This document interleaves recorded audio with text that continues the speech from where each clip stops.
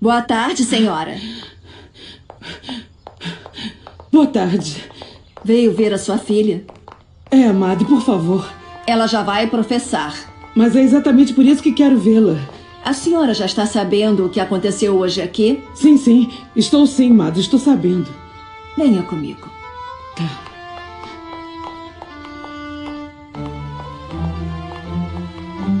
Ave Maria, cheia de graça, o Senhor é convosco.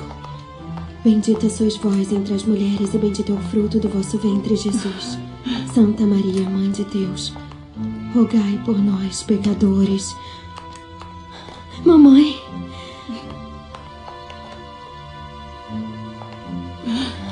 Hoje é o dia. Eu sei, filha.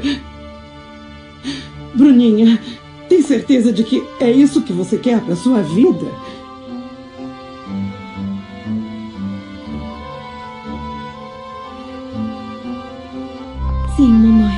Tenho certeza. E não vai se arrepender? Espero que não. Eu confio em Deus. Se vou dedicar a Ele minha vida, Ele vai me ajudar. Bruninha, e o Adriano? Não tem que me falar dele, mamãe. Mas é que. É melhor nos despedirmos. Eu preciso ficar sozinha. Filha, minha filha, por favor. Por favor. Ai, não chora, mamãe, por favor. É que isso é uma despedida, eu sei. De tudo, de tantas coisas lindas e de. E de tantos problemas que vivemos juntas, filha. Vai, mamãe. Vai. Eu preciso estar serena para poder.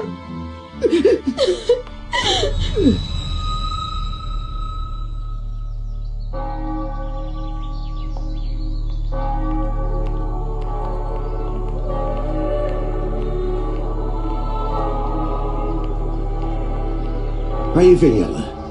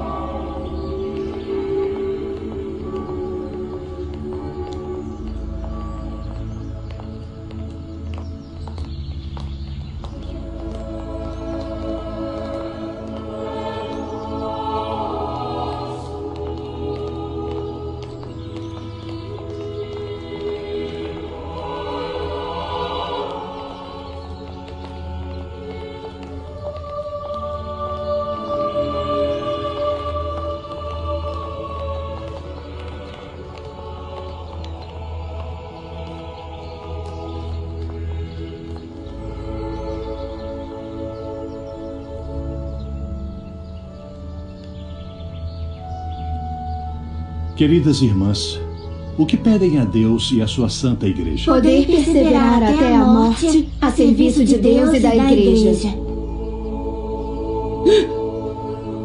Minha filha.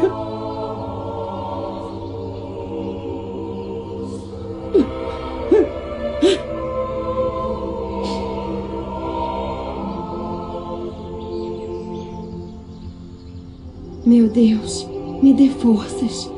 Me torne boa e me proíba de ter dúvidas. Me proíba de pensar no Adriano. Eu te amo, Bruninha. Eu te adoro. Grande poder de Deus, tenha piedade de mim.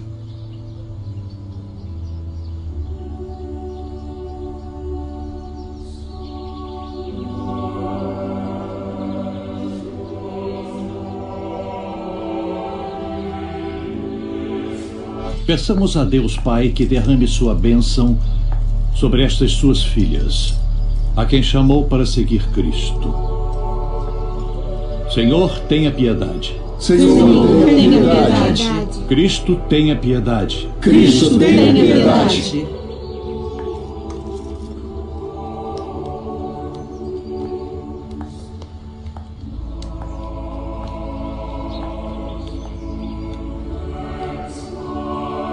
Queres se entregar totalmente a Deus em solidão e em silêncio? A oração, ao trabalho humilde e às boas obras? Sim, quero. O que nos une é um sentimento puro e bonito, Bruninha. E sua alma já sabe. Não, meu Deus. Não. Eu não quero pecar. Eu quero me consagrar ao Senhor de corpo e alma. Me aceite, sou sua serva. E serei fiel até a eternidade. Deus Todo-Poderoso, te entrego minha vida para sempre. Para sempre. Para sempre. Em pouco tempo terei que pensar na Bruninha como uma pessoa que desapareceu. Porque ela não vai mais pertencer ao mundo. Falta pouco. Me dê forças, Senhor. Me dê forças. Bruninha, eu te amo. Te amo. Não, meu Deus. Não. Eu sei que você me ama também. Seja sincera com você mesma e com Deus. A Ele você não engana. Bruninha, você quer viver, quer ter um lar, quer ter filhos. Um lar. Filhos.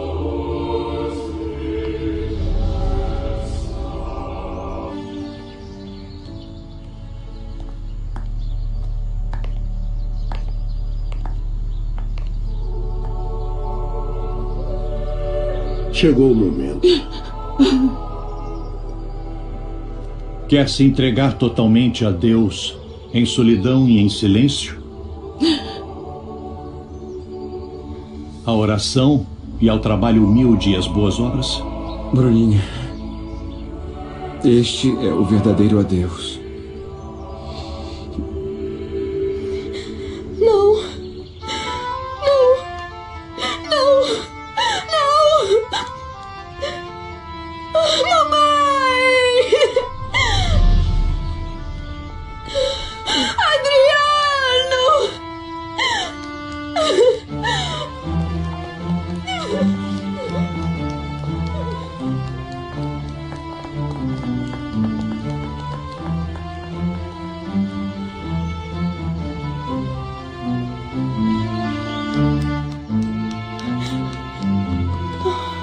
Bruninha!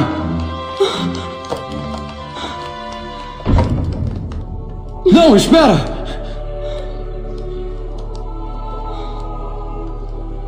Espera.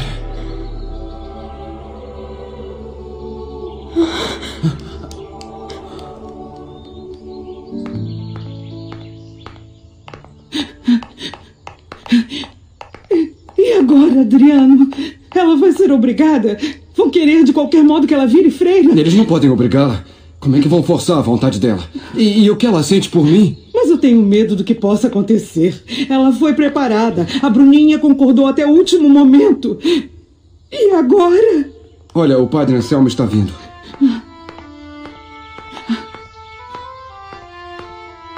Padre, o que, que eles disseram? O que vão fazer com a Bruninha? Não foi tomada nenhuma decisão. O conselho terá que estudar o caso e decidir sobre isso. Mas e a vontade da Bruninha? E os sentimentos dela não contam? Não vale nada? Mas é claro que serão levados em conta, filho. O senhor a viu, Padre Anselmo? Falou com ela? A Bruninha se encontra agora na direção do convento. E depois vai pro quarto. Ela vai ficar presa? Mas é claro que não, Olga. Mas é que ela não é freira ainda. Ainda não é. Sua filha se arrependeu no momento em que ia professar. Mas o senhor vai ajudá-la, não é, Padre Anselmo? Por que ficou assim tão sério? Devemos nos alegrar que a Bruninha tenha reagido a tempo. O senhor sabe, não é, Padre? Na verdade, estou chateado, filho. Isso é muito grave. Ela não deveria ter esperado tanto tempo para se arrepender no último momento. Por que esperou tanto tempo, irmã? Nós não forçamos ninguém a permanecer neste lugar. Quem vem aqui faz isso voluntariamente, querendo servir, se entregando a Deus. E com a firme convicção da sua grande vocação religiosa. Me perdoe, madre. Então a sua fé falhou. Não era suficientemente forte para entregar a sua vida a Deus? Eu acredito em Deus, madre. Eu o amo, mas. Mas não sou digna dele. Por que diz isso? Porque quando eu só deveria pensar nele, pensava na minha mãe. E também pensava no. Naquele rapaz que entrou no pátio do convento, não é? Me perdoe, madre, me perdoe, por favor. Minha filha, se você sentiu dúvidas, deveria ter dito antes. Seu caso é grave pela forma como ele ocorreu. Vá para o seu quarto e não chore. Se conforte com a oração. Vai, vai, por favor.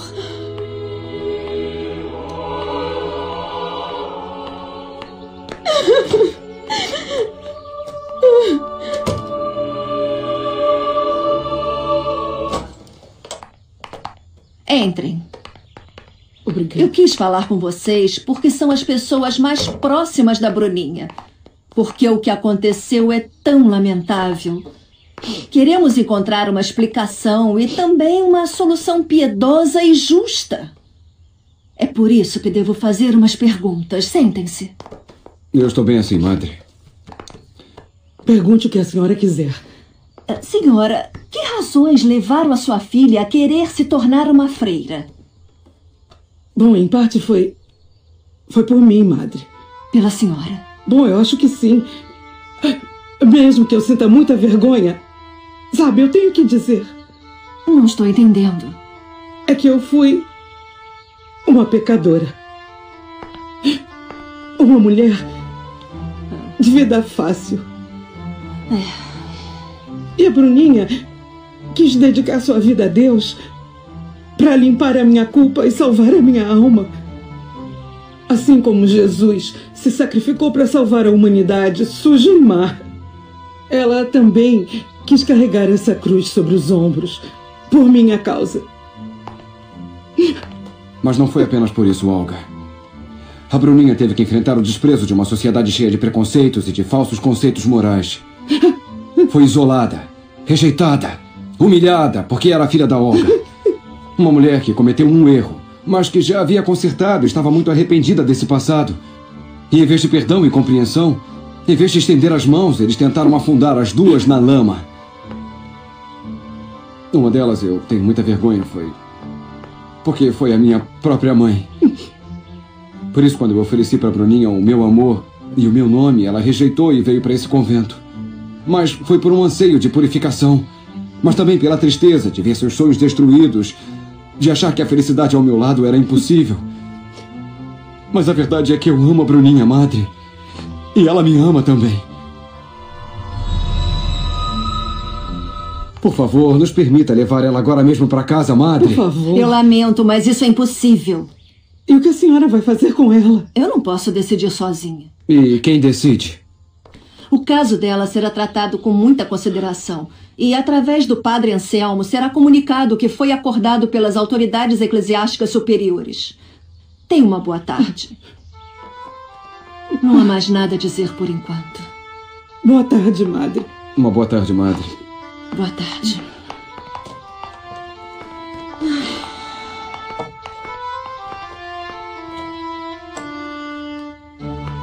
Interceda, por favor, por nós, madre. Em nome do amor que Deus colocou na Bruninha e em mim, e que sobreviveu acima de tudo.